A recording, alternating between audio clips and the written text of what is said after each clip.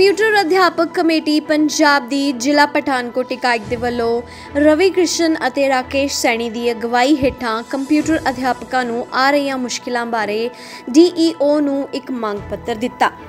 ਇਸ ਮੰਗ ਪੱਤਰ ਰਾਹੀਂ ਉਹਨਾਂ ਨੇ ਕਿਹਾ ਕਿ ਕੰਪਿਊਟਰ ਅਧਿਆਪਕਾਂ ਨੂੰ ਬਿਨਾਂ ਕਿਸੇ ਸ਼ਰਤਾਂ ਤੋਂ ਸਿੱਖਿਆ ਵਿਭਾਗ ਵਿੱਚ ਸ਼ਾਮਿਲ ਕੀਤਾ ਜਾਵੇ। ਅਸੀਂ ਆਪਣੇ ਮਾਨਯੋਗ ਡੀਓ ਸਾਹਿਬ ਕੋਲ ਆਏ ਸੀਗੇ ਮੰਗ ਪੱਤਰ ਦੇਣ। ਜਿਹਦੇ ਵਿੱਚ ਸਾਡੀਆਂ ਦੋ ਤਿੰਨ ਮੰਗਾਂ ਸੀਗੀਆਂ। ਸਭ ਤੋਂ ਪਹਿਲੇ ਤੇ ਇੱਕ ਸਾਹੀਂ 700 ਕੰਪਿਊਟਰ ਅਧਿਆਪਕ ਜਿਹੜੇ ਆ, ਉਹ 2005 ਤੋਂ ਸੇਵਾ ਨਿਭਾ ਰਹੇ ਆ ਸਿੱਖਿਆ ਵਿਭਾਗ ਦੇ ਵਿੱਚ। ਉਹਦੇ ਵਿੱਚ ਸਾਨੂੰ 2011 ਦੇ ਵਿੱਚ ਰੈਗੂਲਰ ਕੀਤਾ ਗਿਆ ਸੀਗਾ ਤੇ ਉਹਦੇ ਵਿੱਚ ਸਾਡੇ, ਉਹਦੇ ਪੱਤਰਾਂ ਦੇ ਵਿੱਚ ਸਾਨੂੰ ਰੈਗੂਲਰ ਕੀਤਾ ਗਿਆ, ਪਰ ਉਹ ਜੋ ਸਾਡੇ ਰੈਗੂਲਰ ਲੈਟਰ ਦੇ ਉੱਤੇ ਜੋ ਕੁਝ ਵੀ ਸਾਡੀਆਂ ਸ਼ਰਤਾਂ ਲਿਖੀਆਂ ਗਈਆਂ, ਉਹ ਅਕੋਰਡਿੰਗ ਟੂ ਉਹ ਸਾਡੇ ਉੱਤੇ ਲਾਗੂ ਅਜੇ ਤੱਕ ਨਹੀਂ ਕੀਤੀਆਂ ਗਈਆਂ। ਸਾਨੂੰ ਅਸੀਂ ਉਹਨਾਂ ਨੂੰ ਮੰਗ ਪੱਤਰ ਦਿੱਤਾ ਆਪਣਾ ਕਿ ਸਾਡੇ ਉੱਤੇ ਜਿਹੜੇ ਉਹ ਸਾਰੀਆਂ ਸ਼ਰਤਾਂ ਲਾਗੂ ਕੀਤੀਆਂ ਜਾਣ ਤੇ ਸਾਨੂੰ ਪੂਰੀ ਤਨਖਾਹ ਸਮੇਤ ਜਿਹੜਾ ਸਿੱਖਿਆ ਵਿਭਾਗ ਦੇ ਵਿੱਚ ਸ਼ਿਫਟ ਕੀਤਾ ਜਾਏ ਐਕਚੁਅਲੀ ਸਾਡੀ ਜਿਹੜੀ ਅਪਾਇੰਟਮੈਂਟ ਹੈਗੀ ਆ, ਉਹ ਪਿਕਟਸ ਸੁਸਾਇਟੀ ਇੱਕ ਬਣਾ ਕੇ ਉਹਦੇ ਵਿੱਚ ਕੀਤੀ ਗਈ ਆ।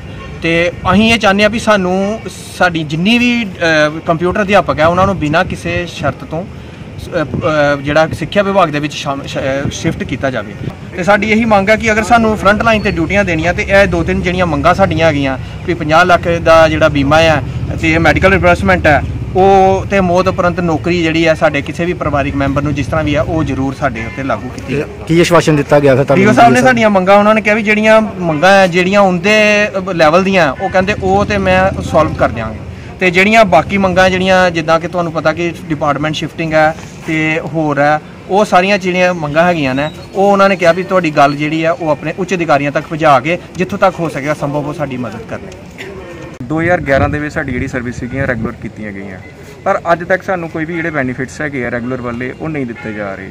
ਅਸੀਂ ਕਿਤੇ ਵੀ ਪੁੱਛਦੇ ਆ ਬਸ ਉਹ ਇਹੀ ਸਟੇਟਮੈਂਟ ਸਾਨੂੰ ਦਿੰਦੇ ਹੈਗੇ ਕਿ ਹਾਂਜੀ ਤੁਹਾਡੀ ਜਿਹੜੀਆਂ ਮਿਸਲ ਹੈਗੀਆਂ ਜਾਂ ਫਾਈਲਸ ਹੈਗੀਆਂ ਗਾਂ ਭੇਜੀਆਂ ਗਈਆਂ, ਕੋਈ ਵੀ ਕੰਮ ਹੈਗਾ, ਉਹ ਗਾਂ ਭੇਜਿਆ ਗਿਆ। ਬਸ ਇਹੀ ਸਾਨੂੰ ਜਵਾਬ ਜਿਹੜੀ ਹੈਗੀ ਹੈ, ਮਿਲਦੇ ਆ।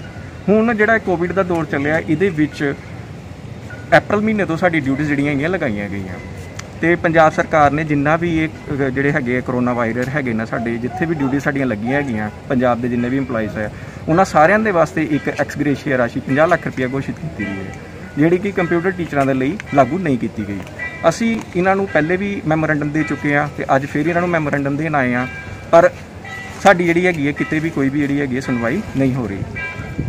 ਉੱਥੇ ਇਸ ਬਾਰੇ ਜਾਣਕਾਰੀ ਦਿੰਦਿਆਂ ਹੋਇਆਂ ਜ਼ਿਲ੍ਹਾ ਸਿੱਖਿਆ ਅਫਸਰ ਨੇ ਕਿਹਾ ਕਿ ਅੱਜ ਕੰਪਿਊਟਰ ਅਧਿਆਪਕਾਂ ਵੱਲੋਂ ਉਹਨਾਂ ਨੂੰ ਇੱਕ ਮੰਗ ਪੱਤਰ ਦਿੱਤਾ ਗਿਆ ਜਿਸ ਵਿੱਚ ਉਹਨਾਂ ਨੇ ਡਿਊਟੀ ਦੇ ਦੌਰਾਨ ਆ ਰਹੀਆਂ ਮੁਸ਼ਕਿਲਾਂ ਬਾਰੇ ਲਿਖਿਆ ਹੋਇਆ ਹੈ।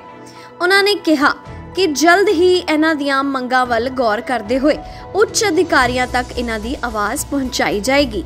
ਇਸ ਮੰਗ ਪੱਤਰ ਦੇ ਵਿੱਚ ਇਹਨਾਂ ਨੇ ਇੱਕ ਤਾਂ ਆਪਣੀ ਐਂਟਰੀ ਜਿਹੜੀ ਹੈ, ਉਹ ਵਿਭਾਗ ਦੇ ਵਿੱਚ ਬਤੌਰ ਸਿੱਖਿਆ ਵਿਭਾਗ ਦੇ ਕਰਮਚਾਰੀਆਂ ਦੇ ਤੌਰ ਤੇ ਦਿੱਤਾ ਹੈ। ਦੂਸਰਾ ਕੁਝ ਕੋਵਿਡ ਦੀਆਂ ਡਿਊਟੀਆਂ ਦੇ ਦੌਰਾਨ ਜਿਹੜੀ ਇਹਨਾਂ ਦੀਆਂ ਕੁਝ ਮੰਗਾਂ ਜਾਇਜ਼ ਨੇ, ਉਹਨਾਂ ਨੂੰ ਮੈਂ ਆਪਣੇ ਪੱਧਰ ਦੇ ਉੱਤੇ ਵਿਸ਼ਵਾਸ ਦਵਾਨਾ ਕਿ ਇਹਨਾਂ ਨੂੰ ਮੈਂ ਪੂਰਾ ਕਰ ਦਿਆਂਗਾ। ਕਿਸੇ ਵੀ ਅਧਿਆਪਕ ਨੂੰ ਨਾਜਾਇਜ਼ ਡਿਊਟੀ ਦੇ ਉੱਤੇ ਨਹੀਂ ਲਾਇਆ ਜਾਏਗਾ, ਕਿਉਂਕਿ ਜੋ ਇਹ ਲੜਾਈ ਹੈ ਇਸ ਟਾਈਮ ਦੇ ਉੱਤੇ ਅਸੀਂ ਸਾਰਿਆਂ ਨੇ ਰਲ ਕੇ ਕਰਨੀ ਹੈ। ਮੈਂ ਕਦੇ ਵੀ ਇਸ ਗੱਲ ਦਾ ਗਰਜ ਨਹੀਂ ਕਰਿਆ ਕਿ ਮੈਂ ਡਿਊਟੀ ਤੇ ਨਹੀਂ ਹੋਣਾ, ਮੈਂ ਸਵੇਰ ਤੋਂ ਲੈ ਕੇ ਸ਼ਾਮ ਤੱਕ ਇਹ ਸੇਵਾ ਨਿਭਾ ਰਿਹਾ। ਕਿਉਂਕਿ ਜੇ ਮੈਂ ਹੀ ਆਪਣਾ ਘਰ ਬੈਠ ਜਾਗਾ ਤਾਂ ਦਫ਼ਤਰ ਦਾ ਕੰਮ ਕਿਵੇਂ ਚੱਲੇਗਾ? ਹਾਂ, ਜੇ ਕਿਸੇ ਦੀ ਕੋਈ ਨਿੱਜੀ ਪ੍ਰੋਬਲਮ ਹੈ, ਕਿਸੇ ਦੀ ਕੋਈ ਹੈਲਥ ਪ੍ਰੋਬਲਮ ਹੈ, ਉਸ ਅਧਿਆਪਕ ਦੀ ਮੰਗ ਨੂੰ ਪਹਿਲ ਦੇ ਆਧਾਰ ਤੇ ਮੈਂ ਸੋਲਵ ਕਰਨ ਲਈ ਵਚਨ ਕਿਸੇ ਨੂੰ ਟੌਰਚਰ ਨਹੀਂ ਕਰਿਆ ਜਾਏਗਾ ਵੀ ਤੂੰ ਜਾਣਾ ਜਦੋਂ ਮਰਜ਼ੀ ਇਹ ਜਿਹੜੇ ਅਧਿਆਪਕਾਂ ਦੇ ਜਥੇਬੰਦੀ ਹੈ ਮੈਨੂੰ ਕਿਸੇ ਟਾਈਮ ਵੀ ਮਿਲ ਸਕਦੀ ਹੈ ਮੈਂ ਇਹਨਾਂ ਨੂੰ ਪੂਰਾ ਵਿਸ਼ਵਾਸ ਦਿਵਾਉਣਾ ਕਿ ਇਹਨਾਂ ਦਾ ਜਿਹੜਾ ਮੰਗ ਪੱਤਰ ਹੈ, ਅਗਲੀ ਕਾਰਵਾਈ ਹਿੱਤ ਜਿਹੜਾ ਹੈਗਾ, ਉਹ ਭੇਜਣ ਲਈ ਮੈਂ ਵਚਨਬੰਦ ਹਾਂ। ਕਿਉਂਕਿ ਇਹਨਾਂ ਦਾ ਸੰਘਰਸ਼ ਹੈ ਜੋ ਇਹਨਾਂ ਨੇ ਮੈਨੂੰ ਲਿਖਤੀ ਰੂਪ 'ਚ ਦਿੱਤਾ ਹੈ। ਮੈਂ ਇਸ ਨੂੰ ਪੜ੍ਹ ਕੇ ਜੋ ਹੈ ਬਣਦਾ, ਉਹ ਅਗਲੇ ਉੱਚ ਅਧਿਕਾਰੀ ਸਾਹਿਬਾਨ ਤੱਕ ਇਹਨਾਂ ਦੀ ਪਹੁੰਚ ਕਰਾਂਗਾ। ਜੈ ਹਿੰਦ, ਜੈ ਭਾਰਤ।